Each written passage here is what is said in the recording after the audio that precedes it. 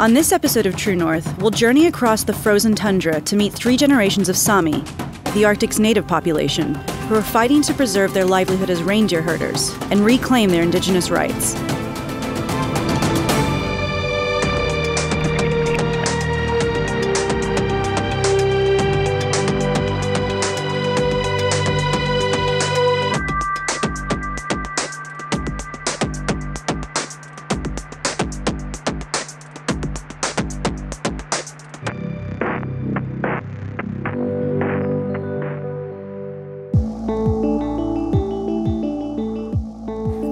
Arctic is uncharted territory, but long before the first explorers were here, one indigenous group, the Sami, had been making the Arctic their home for thousands of years.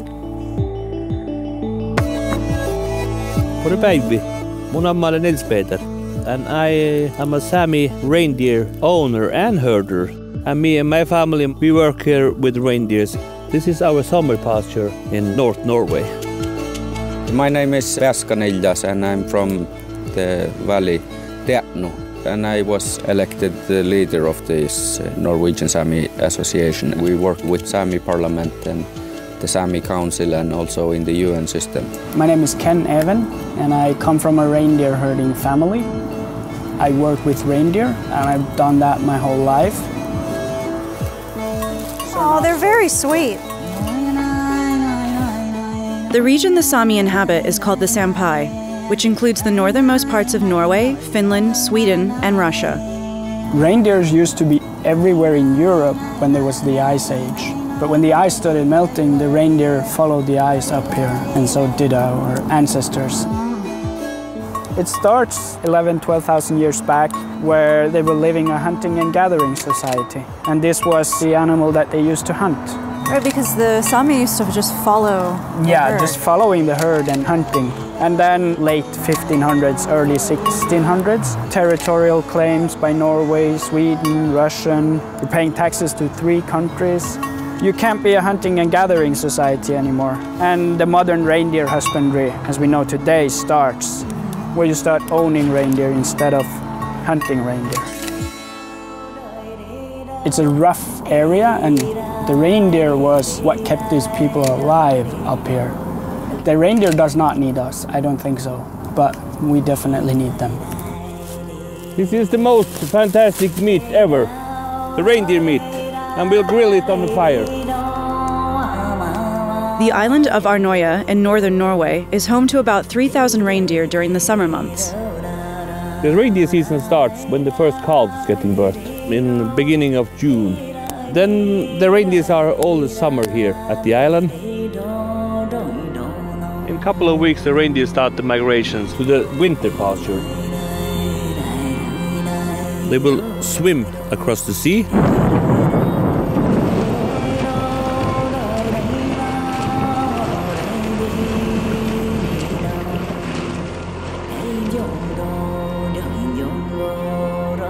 To the other island over there, it's Gabir, and then they walk over the Gabir. Then they swim from Gabir to the mainland.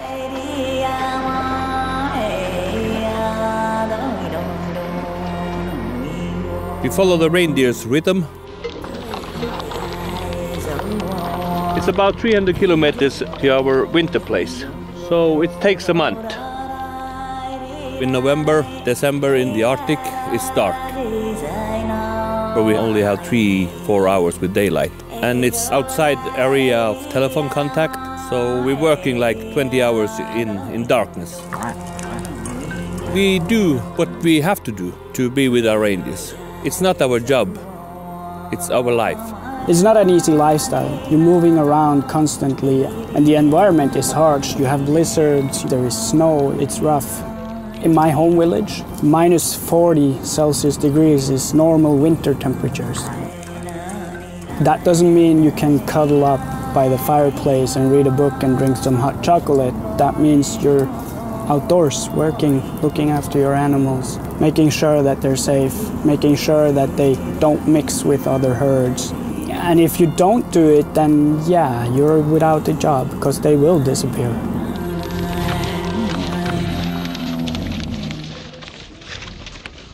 Indigenous people in the Arctic, like the Sami and the Inuit, of course, they have a tradition to live in rough conditions with snow and ice, so they are very used to it. And the polar explorers understood that the indigenous people in the Arctic have a lot to teach them about how to survive and travel in snow and ice.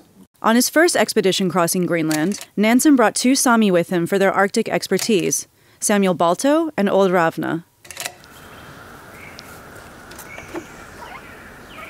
So tell me what we're in right now. In my language, it's uh, launikohti. Launi is turf, so it's a turf hut. It's cold in the summer and warm in the winter, so it's uh, really, really nice. Well designed. it's well designed. Imagine when the kind of age of explorers was happening in the 1800s and then onwards. There must have been things that they looked to the Sami to teach them about surviving up here. Yeah, of course, the clothes were uh, most important, I think. The first thing they got themselves was uh, Sami clothes. This is from my area, this, this kakti. This is made from every kind of material. Traditionally, with this uh, leather we make from reindeer hides. Can I feel it? Yeah. And then we have the winter clothes to keep warm, and also the shoes. You stay These really are- warm with those shoes. These are kind of amazing. There's obviously a special way of like going in the direction of the fur. Yeah, it has to go both ways, so you won't slip. Yeah, yeah. So, So you're just have- head to toe in reindeer all Yeah. in the winter. Reindeer hides have uh, this hollow hair. It's adapted to the Arctic climates. That's the importance of reindeer. We can make everything we need to survive from a reindeer. How many Sami families still just herd reindeer? I think there are around 2,500 registered brands, so you have the cuts in the ear. Oh, I see. But how many work professionally is it's, it's hard to say. So you learned how to take care of them and what they're like and their nature from your parents. Yeah, so you follow your your mother and your father up in the tundra, and they kind of teach you the names of the mountains, lakes, and the rivers. And then they start teaching you more about the reindeers. There are a lot of Sami words to describe them and distinguish them out from a herd with 10,000 reindeers. Really? For instance, that female over there, she has a white nose, which is kalpenjonni, but that might not be enough to distinguish Right. it from a herd. So you'd have to maybe describe her antlers as well. Our language, it's insanely rich when it comes to nature and snow and reindeer. Right. Isn't the word for herd derived from the word for life? Ellu is a herd, and elit is to live. So I have here dried meat, Okay, it's like jerky. reindeer jerky, so you can rip. You. When you were young, protecting the herd for the first time, did you ever have to deal with predator attacks? I've seen predators going for the herd, but then we've been there, so they will turn around. Like wolverines? Wolverines and eagles in the summer. Oh, really? Eagles kill a lot of reindeer. The babies. They can kill a big one as well, it's no problem. An eagle can kill a wolf, so what matches a reindeer?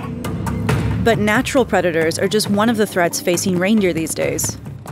I also have uh, seen the climate changing. When it's warm in the wintertime, it may be raining, then it's getting like ice layer on the snow. The reindeer find the food on the ground, and when it's getting icy, it's like you put a lock on your refrigerator. You know it's food there, but you can't reach it. Those things are the first markers of an unstable climate, and it's very real. It's, of course, an economic challenge to have to feed extra food, and also it's an ecological disaster when you are not able to feed all the reindeer and the reindeer starve. And threats to the reindeer's grazing lands are posing another set of challenges. Sometimes the reindeer come down from the mountains and into people's gardens. I see. So they adapt and learn to eat new stuff as well. and so the herders won't come and try and find them? In the summer area, you, you leave your reindeer alone so they get time to graze. If you start driving after them all the time, they eat less. As cities expand, the Sami lands and herding areas are being encroached on more frequently. But this phenomenon is nothing new. Much like the Native Americans, the Sami were subject to cultural discrimination and oppression. Assimilation politics of the governments, their goal was to erase the culture and to make every Sami person a Norwegian or Finn or Swede. And they really succeeded in that. It was quite hard politics. They didn't come with soldiers to kill the culture, they came with teachers and priests. The Samis had their own uh, religion. They believe on the nature gods. Late 1700, 1800, Western people came up to the north. Then they want to um, Norwegianize and Christian the Sami people. Christianity, in my opinion, it has quite the opposite basis of life than indigenous peoples used to have. Indigenous peoples are part of nature, and, and Christianity says that man is above nature and nature is for him. So, to embed that mindset over hundreds and hundreds of years all over the world have maybe created the world we are now. One of the most controversial practices was the introduction of boarding schools, which removed Sami children from their families. A friend of mine's parents used to talk about the assimilation process. Some of the kids, they were living in border schools and it was illegal for them to speak Sami. They had to use Norwegian. There was a girl in the class that was asked to tell Father Grace by the teacher. She was telling it, the words were perfect, everything was correct. And then the teacher says to the kid that she should go into the shame corner. And the other kids in the class are asking, but why? She knew all the words, everything was right. Yeah, but God does not understand Sami. And what is this? Is this referring back to when the assimilation was kind of being pushed? Yeah, it's the border schooling. But on Swedish side, there was this uh, nomadic schools. They had this politic that the Sami people should stay and be preserved as a nature people. They, mm-hmm. they are not to develop they want to just hold them there right. in the traditional culture, like some museum, and ah. they weren't allowed to come to regular schools. Throughout the Arctic, the self-determination of the Sami people was jeopardized. It was a little bit sad for the Sami history. In middle of 1900, we almost lost the language. But the reindeer Samis, like my parents and my grandparents, they was just avoiding them because they had the reindeers they could avoid them. They, they just went up to the mountains and they knew they, they couldn't come up there. While the northernmost reindeer Sami were able to preserve parts of their culture, 10 of 11 Sami languages are critically endangered or extinct. Like some stupid people say Holocaust never happened. There are some stupid people saying that this never happened. So today actually the Norwegian government has started a panel that is going to investigate this and it's going to be in the open. But the Sami people's interest isn't just in talking about the past. The Sami culture has been experiencing a reawakening. In the 70s, the Norwegian government wanted to build up a dam in a small village called Masi, and the original plans were to flood the village. So this made a lot of Samis go on a hunger strike outside the Norwegian parliament.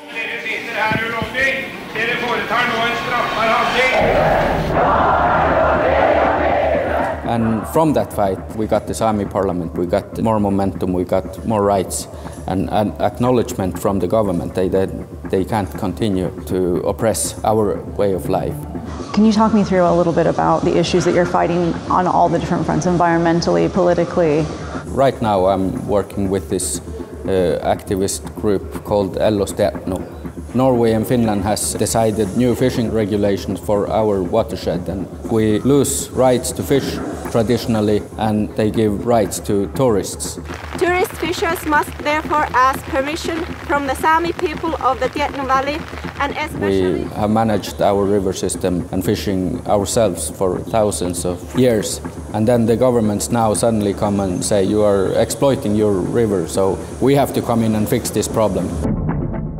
We have reclaimed uh, island and we declared that in this area those new fishing rights or any Norwegian or Finnish laws doesn't apply there. Both governments, they don't really know how to deal with this. So they don't, do they consult you? Yeah, they consulted, but they didn't care our opinion at all. Now people of our valley, they no, support our work. People actually now think that, yeah, of course, we should rule this river ourselves, like we always have. It's an awakening because it's have been so many hundred years with foreign oppression and ruling that that's just a state of mind that this is how it is. And if eight, nine thousand people rise and demand that, then the governments uh, they just have to back up.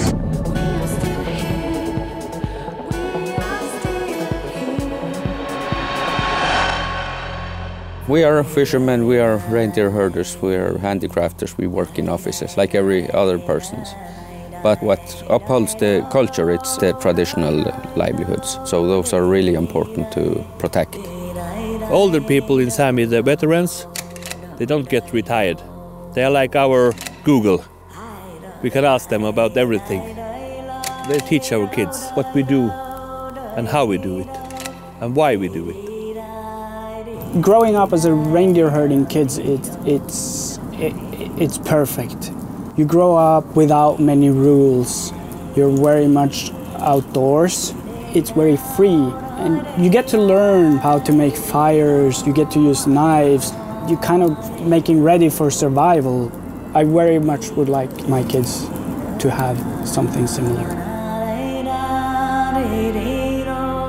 Learning about Sami culture was eye opening. I heard about the indigenous groups that live up here in the Arctic, but I never really had a concept of what their lives were like or what their history actually was. So when I was meeting with, you know, Sami leaders and reindeer herders, it was just fascinating to actually see how not only are they very knowledgeable about all their traditions, but they're re-embracing it now and fiercely kind of protecting it and conserving it. What I see is the most uh, dangerous thing is that Sami people also get uh, caught up in this system and, and, just becomes exploiters themselves of our lands. So that's a, a danger. When you don't know your culture, you won't take care of it.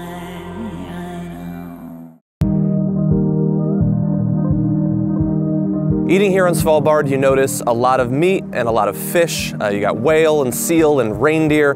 What vegetables you have have to be shipped or flown up from the mainland because, of course, we're here in the Arctic where most vegetables don't traditionally grow. But that might be about to change. I can take some of these. My name is Benjamin Vidmar. I'm the creative director and the founder of Polar Permaculture, and our goal is to grow locally grown food and to make Longyearbyen more sustainable.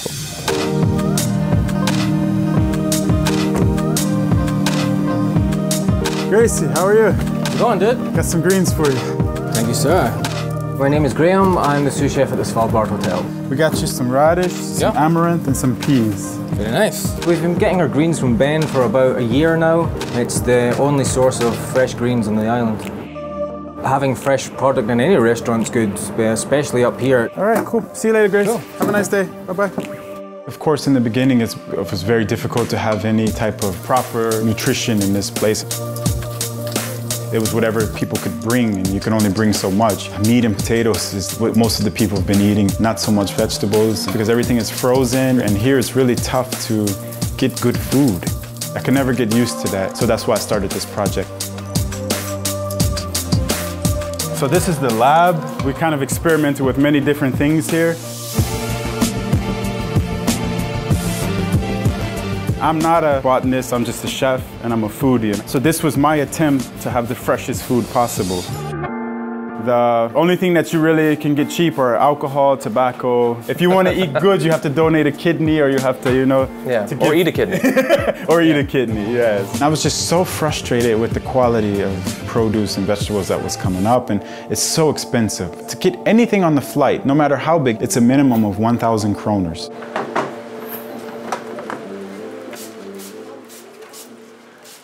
You got a lot of things going on here. What sort of experiments are you running? This is our main business here. We call them microgreens, and you've probably seen them before. This is radish. Oh, wow. Uh, peas, amaranth, and I believe this is rucola. We sell these to the hotels and to the restaurants here. We sell one tray for 300 kroners.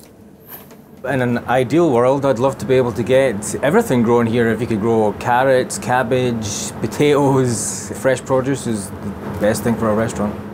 And they really like it because you see it looks very beautiful. And ours, oh, they yeah. last like one to two weeks. And we focus on this because this only takes one week and we deliver. So this has been our main crop. I ordered a hydroponic machine from Italy and I started to grow all types of things. I was growing tomatoes, edible flowers, salads, and it just evolved from there. And then, for example, I had to order fertilizer. It was like 10 liters and then 25 pounds to ship it. So how is it helping the situation if I'm just shipping up fertilizer? The main thing for us is to compost what we get back. So before we deliver a new tray, we have to take back the old tray. Mm. You have the old ones for me? I, or I can take the old do. trays? Yeah, I have lots of old ones for you. So we get this back from the chefs and they use what they can use and then sometimes it molds. So it would go into something like that. And then what happens is we have worms here. It took like one and a half years to get permission to have these worms. No way, you see all the mixed up vegetation. Yeah. So you see them, they're all in oh, there. Yeah, yeah, But these are not like earthworms. These are red worms. And these ones, they don't dig so much. And that's why they gave me permission because they had this researcher at the university. He had to actually write a paper about this. Really? Because it's an invasive species. But his conclusion was that they won't naturally survive here because it gets too cold for them. too so, cold, yeah. Well, then it evolved from there. Then I just wanted to see how many circles could I create. And that's when we started this whole circular economy thing where we wanted to make the resources last as long as possible before we send it out somewhere. You know, for us, it's important to make these closed loops. And that's what permaculture is all about. The ethics are earth care, people care, and fair share of the resource. This cardboard is a waste product. Mm. Here, this is considered garbage. We ship this back to the mainland. It's a lot of shipping. And we talk about climate change. We actually have the highest CO2 output per capita in the whole world. So I told them, we don't need to ship this back. This can be processed here. Our worms, they break it down. They need this kind of carbon. And then it turns into the vermicastings, which we, we use for the bigger plants. Now we've added another step to this solution. So recently we just hatched some quails. And the whole point for us to have the quails is that we want to have eggs. Mm-hmm. So we can turn these worms, because the quails, they really like it. You see? Oh wow, yeah, They really like the worms. crazy for it. So as soon as the eggs come, we wash them, we put them here, we deliver to the hotel. So you can't get any fresher than that. You're a mile away from the most of the places you'll be delivering to. If Yeah, that LA upstairs, just that. one upstairs. You have a little pulley system. There. eggs, please. Coming up. Yeah, and so if there's less shipping back, and if there's more things being produced here that don't need to be shipped from the mainland, maybe you can cut down on all the CO2 being produced by the big I cargo totally ships. agree. This place was set up like a colony, basically. All of the resources are extracted, sent somewhere else, and then they're sold back to us in a different form. And so now they're changing all of that. There's a focus on local food because everybody wants it. We want this to be like a normal city. So now they're making the laws where we can buy local fish, we can have greenhouses, we can have all of these things. It's coming now. This was the first project of its kind. Mm-hmm. Careful because the wind's gonna push it. And like when I said greenhouse, everybody was thinking like a glass rectangular building. Yeah. And I didn't think that that would do very well. Like there's two glaciers there. We're in a valley. The wind comes through here like a wind tunnel. And I wanted something that was proven. Not only is this to grow, but it's a landmark. Mm-hmm. You can see it from just about everywhere. Yeah, yeah, we've noticed that. In the dark season, we have these LED lights, and it makes it like a purplish color, and it lights up this whole side of town, and people Yeah. love it. This is two tiers. So on the bottom is the compost. We added all kind of vegetable waste and everything, and you can see one screw. You can open it, and you can turn it from the bottom. And eventually, hopefully, the worms and everything will make this into a decent place where we can grow a lot of stuff. And it looks like you're growing a lot of different types of vegetables. We have a lot of radish. We had uh, mustard we planted, tomatoes. We had a lot of peas, maybe four or five towers, and we harvested all the peas, and it was like a full bag. And then we walked into a restaurant, said, "Do you want these? Yes, give them to us." They just whatever we can produce, they want. So if we can grow it, they will buy it. And so what about uh, weeds and predators and other things like that? Yeah, well, it's been really tough. We've been having some problems with aphids. And any other place, people would say, well, if you have too many aphids, then you have a shortage of ladybugs. And you just add ladybugs and they will start to balance that out. But we don't have that luxury here because Yeah, if I want to bring ladybugs, uh, I have to import it and then I have to get permission. And here, we don't use any chemicals and it's really challenging. I'm happy that I did this project here, even though it was very hard. It was much harder. The conditions are Yes, way rougher. But I have a bigger reward. It's good for everybody. In five years, I'm hoping that we can grow a huge percentage of the produce for the town.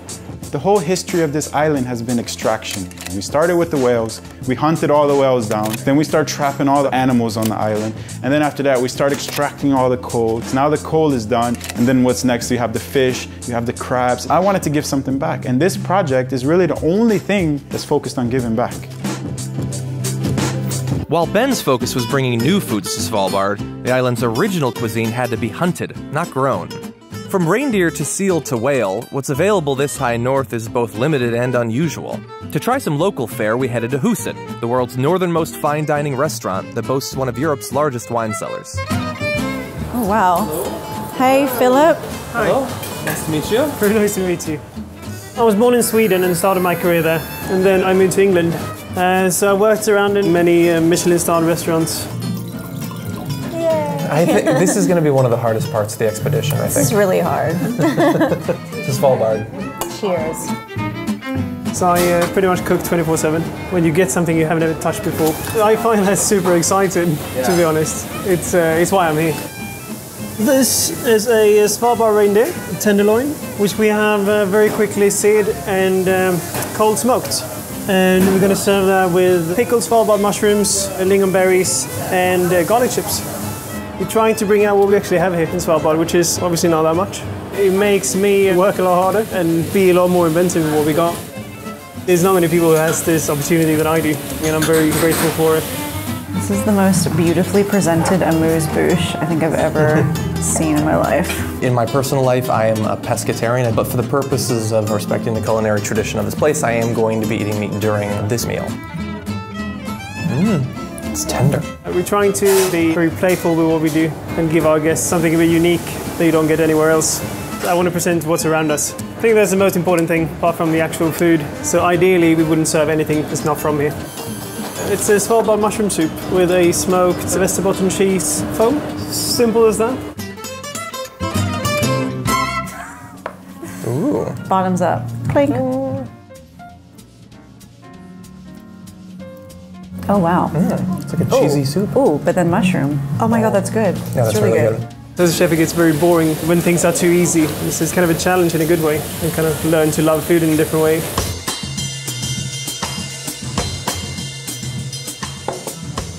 Cheers. Mm-hmm. Mm-hmm. Mm-hmm.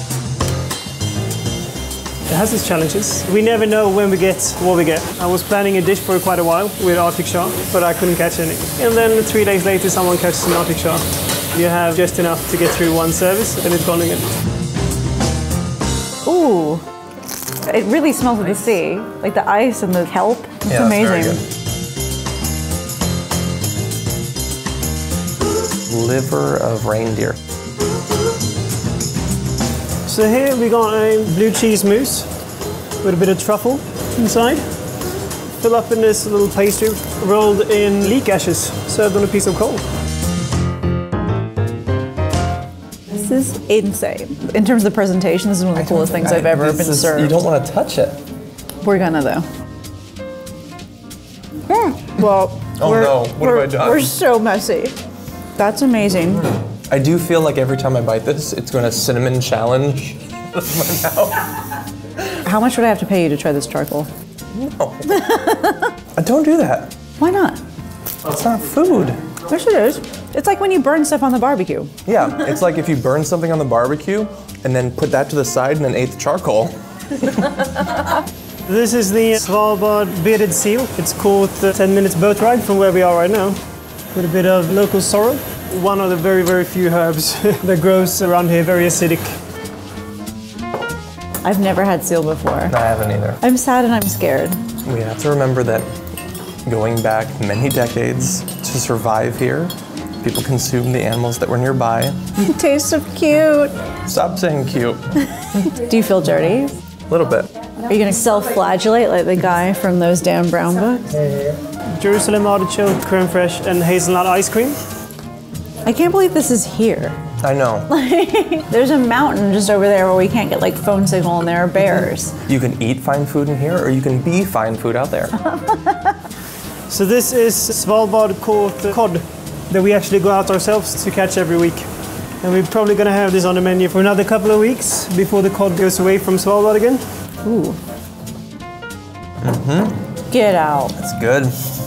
We're doing these multiple courses, and there's uh, champagne and wine with each, and they're not doing like big pours or whatever, but I already feel it. I'm buzzed. One last swig, baby. Here we have the famous Svalbard reindeer topside with a bit of chanterelle puree and butter poached cabbage. Oh. I feel strange about it because we just were filming with a reindeer earlier today. Yes. They're very sweet. But in terms of sustainability, they said there was something like 14,000 Svalbard reindeer. Mm-hmm. Really good. This wine is too good for both of us. Oh, clearly. I think she understands that more than anybody. Oh my god. There's a trolley of cheese coming straight at us. I don't love cheese. My estimation of you just went skyrocketing down. That looks like an entire meal right there. Wait, wait, wait, wait, wait. We're supposed to be on this course, but you've still got this big old glass of red wine. I am Thought the five inspiration foot would be two. so you're gonna have some. Guys gotta do what I got. Guys gotta do. this is how you're supposed to eat it. Not many people know that with Norwegian cheese, you're supposed to pour some off for your homies. This is for those we've lost along the way. People here are classy. We need to get it together. When she put all this cheese down, she knew it was too much cheese. She knew. She's an expert. This is her fault, not ours. Have you had that? No. To Huset. To Huset. I'm hammered. So that's like the cuisine of Svalbard, an updated high dining version of it. But you have the same sort of base ingredients of seal and whale and reindeer and all of that. Um, you combine that with a lot of wine, and uh, it's a pretty good evening. We have three more courses, by the way. What? Pre-dessert, which is an ice cream made out of stout from our local brewery. Get ready for the pre-dessert. Is the pre-dessert like a shot of morphine? That goes together with a uh, almond and coffee crumble. Mmm, mmm, mmm. That's good. Oh my god. You're way smaller than me. Yeah, but I'm not a. I'm just kidding. That's a good point. We start with the cloudberry brulee. So a bit of shortbread, puree, cloudberry ice cream. I don't know why you're refilling that. oh my god. This is for the haters who don't get the Arctic. Okay, you don't understand it. You think you do, you don't. Okay, you never been to Svalbard. I can do this. It's too much. I'm gonna die. You're acting like you're in the mines. We are eating dessert. Like, it's so hard. Oh no. Oh my god. No, we're not worthy. What? What's happening? And then she just leaves it. I just want to go to sleep. This fudge is crazy. I'm hammered. no, wait, good night. Feed me to a polar bear, I'm done. Kirkenes is one of Norway's Arctic port towns. It's only home to about 3,500 people, but it borders Russia. And last year, hundreds of Syrian and Afghan migrants started coming over the border seeking asylum. By 2014, the war in Syria had caused thousands of people to seek refuge in cities across the globe. Despite its remote location, the Arctic town of Kirkenes, Norway saw a massive influx of refugees, more than 5,000, in a town with a population of only 3,500. Local residents Merete and Randi wanted to help. My name is Randi Sneve Skeie, and I've been working with refugees through the organization Refugees Welcome to the Arctic. For me, it started when I was watching the news from Syria. It was a nightmare. I, I felt so bad for all these people. And then the Syrian refugees came over the Russian border here in Kirkenes. And I was sitting at home like, I have to do something. What can I do? What can I do? My name is Merete Norhus. I'm an activist in Refugees Welcome to the Arctic. Behind us here, we call it a Center, where the refugees uh, go to uh, learn uh, the Norwegian language. They also learn general things about Norway. We help them find homes and introduce them to everything we have here. Around Kirkenes, I can definitely see a mix of people. Yes, Sami, Finnish, people from Africa, lots of Russians. Of course, after the war in Syria, we have lots of Arabic people here. Has it always been like that? Uh, yes. The tie between the polar regions and refugees isn't new. Polar explorer and national hero Fridtjof Nansen pioneered international policies on human rights for refugees. After the First World War, Nansen became engaged in the refugee situation in Europe. He wanted to do something, and he also believed he could make the difference. After the borders were drawn new after the war, there was many people that didn't have proper documentation. So Fridtjof Nansen created a document called the Nansen Passport, which afforded citizens left without countries legal status. He became the first High Commissioner for Refugees in the legal nation. And for his humanitarian and peace work, he got the Nobel Prize in 1922. But empathy for refugees runs deeper than the legacy of Nansen in Kirkenes, a city that faced its own crisis during the Second World War. Kirkenes was the second most bombed uh, city in Europe in, during the World War II. And after the war, I think about four houses was left standing. So they had to rebuild the city really fast. And that's why you see The shape of the houses here, they look the same, square boxes. It's all post-war. We are grown up with these stories from the war. So even though I did not experience the war myself, I can imagine how it must have felt. It was in last September 2015. It was getting cold, the winter was coming, and my first thought when I saw the pictures of them on TV, they had no winter clothes. They were they looked so cold. Children bicycling in very cold weather, they had uh, like almost nothing. And my heart really broke. Hello. Hi. Can we come in? Ja. Hei, Mustafa. Hei. Jeg heter Rana Anter. Jeg kom til Norge uh, 2015, november. Did you know where you were, like how far north you were going? Aldri. Never. I don't think they knew where they were. It seemed like they just packed their bags and went. Når jeg kom til Norge, jeg bodde i Neiden. Det er ikke så lenge fra her. Og det var veldig kaldt. Og når vi ville å shoppe ting, vi kom til kirken her. Mm. Når jeg traff med noen mennesker, jeg var med Mustafa her i byen. Sa til Mustafa hvordan mennesker her kan I thought the same thing. How did you even find out that you can get a visa to Russia and then from Russia you can go to Norway? Vi fikk veldig vanskelig i Syria, jeg begynte å, å, å tenke hva jeg må uh, gjøre og dra Syria. Og plutselig jeg sa til Mustafa jeg må dra nå. Men min bror i Russland meg jeg kan avhøre at det er noen vei fra Russland til Norge, og det er safety. Bruker ingen båt. Yeah. Du kan bruke. Lots of the families with children they took this Arctic route, as we called it, because they did not want to go in the rubber boats and uh, risk their children's lives in these dangerous boats. It was safer through Russia. Rana's family traveled from Damascus in Syria to Beirut, Lebanon, then flew to Moscow, and finally Murmansk in northern Russia. From there, the family employed human smugglers to drive them to the Norwegian border.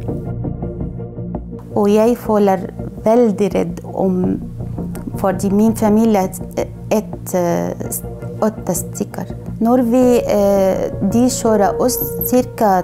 tre og en halv time. Og så sjåfør, sjåføren i min bil var veldig snill. Han så jeg at jeg er veldig redd om annen familie i annen kar. Og gjorde meg sluppet av litt. Fordi vi, vi de tok sykler og flyttsykler med oss med stor vann. Og de var ikke vanlige mennesker. Jeg føler at vi med mafia, really. Now you can see the first sign, customs. We're getting close. The Russians have a law you cannot cross the border into Norway walking. So that's why they came on their bicycles and they paid lots of money for the bicycles. Here's the Schengen border. We would be in uh, lots of problems if we try to go any further. This is Rana's first, first trip to the border since she crossed it. When you were here, was it snowy? All ah. white. Vi bodde noen koffert over sykler. Jeg bare gå og, mm. og holde det. It was really difficult to, to uh, bike on snow. With your suitcase balanced on top. And her suitcase. And they had their whole life with them. In one suitcase. Were you nervous? Because it's a border crossing and it's very strange. You don't know the rules, you know? Mm-hmm. Mm. Veldig. Very nervous. Mm. Men jeg hører, jeg hører at asylsøkere her i Norge veldig god. Mm. Ikke sammen i Tyskland, for eksempel. Mm. Crossing the border was a relief, but it didn't bring an end to the family's hardships. The small city of Kirkenes was struggling with an influx of refugees that nearly doubled its population. We were not prepared for this at all. Not my city and not Norway. Var fra UDI. Det er veldig lang tid. Fordi jeg tror eh, vi så hva, hva skjedde i Syria. Og så, eh, når vi kom, vi tror at alle verden eh, har Og vi trenger Vi tror at vi skal ha immediately uh, Yeah, local people started talking about this. A lot of gossip, of course. What will happen now? Why are they coming here? I think they tried to do their best, but it was chaos, of course. So many people came every day, and these children and these human beings, it's not good for them to be in that camp. And then they started to send people back. They sent one bus with 13 single men back to Murmansk. And then we heard the next day they were deporting families with children. Jeg tror at that time at jeg skal bli veldig mye uh, trives. Og så etterpå de kommer til oss og sa du, uh, du og din familie skal tilbake til Russland, og din datter skal bli i Norge. Til Norge jeg, jeg føler så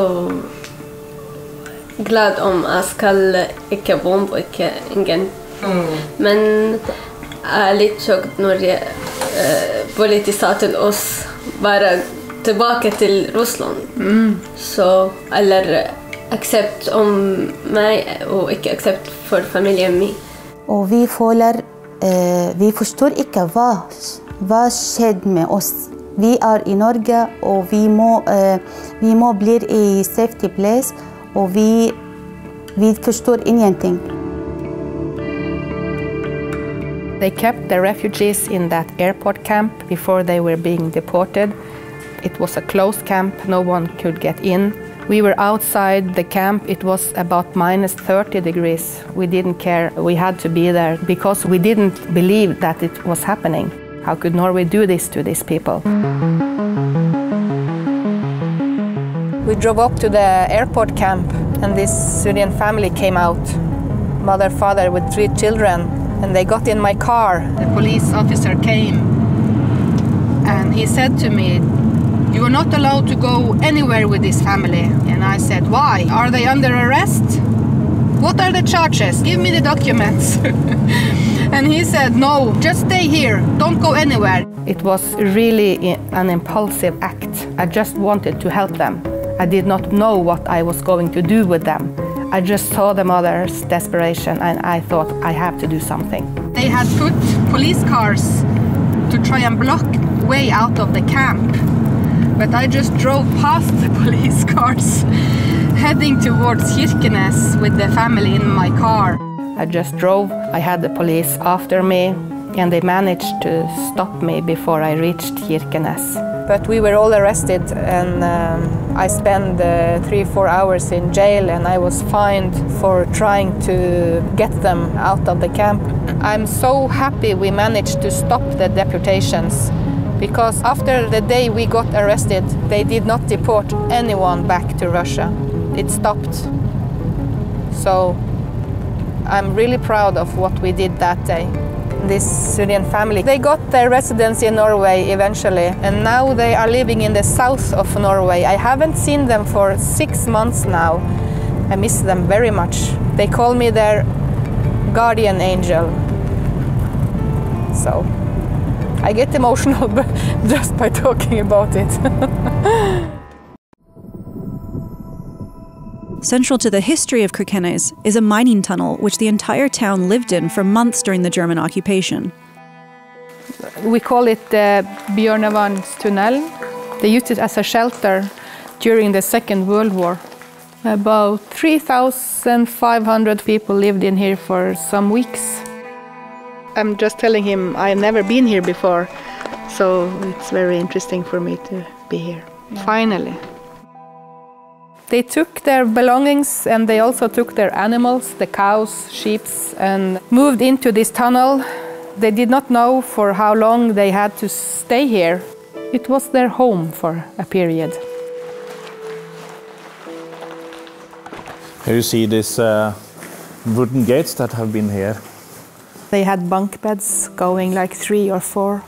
I read an interview with uh, a man who lived here and with his parents, and he said it was like living in a big market.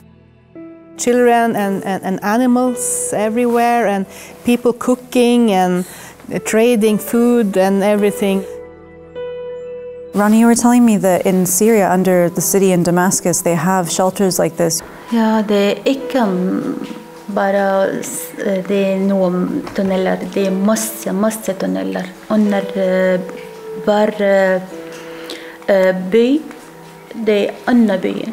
It's really um, strange to be here, to think that 3,500 people lived here. It must have been so tough. And outside, I mean, this was a front. It was being bombed and everything. Yes. How long were they down here until the Russians liberated? The Red Army came here, freed Kirkenes from the Germans in October 1944. They didn't know that war is going to end in, uh, or uh, that the Russians was coming here. The war could have been for two or three or four, or five years. So, Hmm.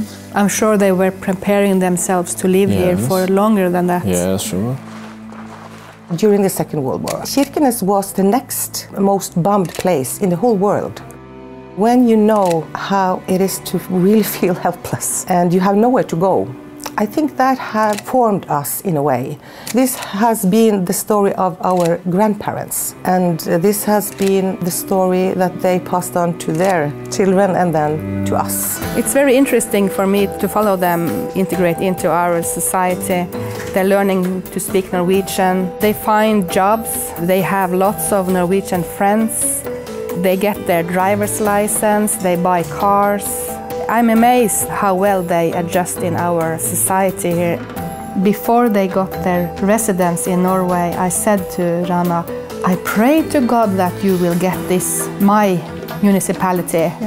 And she called me one day and, and she was like, You cannot believe me that I got that letter and we got your municipality. We're coming to live in Kirkenes. and we were crying. Oh my God, is it true? Yeah. I'm glad it worked out like that. Det beste ting har mennesker har. I kontakt med Merete og andre venner, det var veldig vanskelig når vi begynner her i Norge. Hmm. Og For people that have never been to the Arctic, it probably seems like this really inhospitable place, but actually it's a place of lots of very tightly knit communities where outsiders they're welcomed and it's definitely a place where you can sense Arctic hospitality.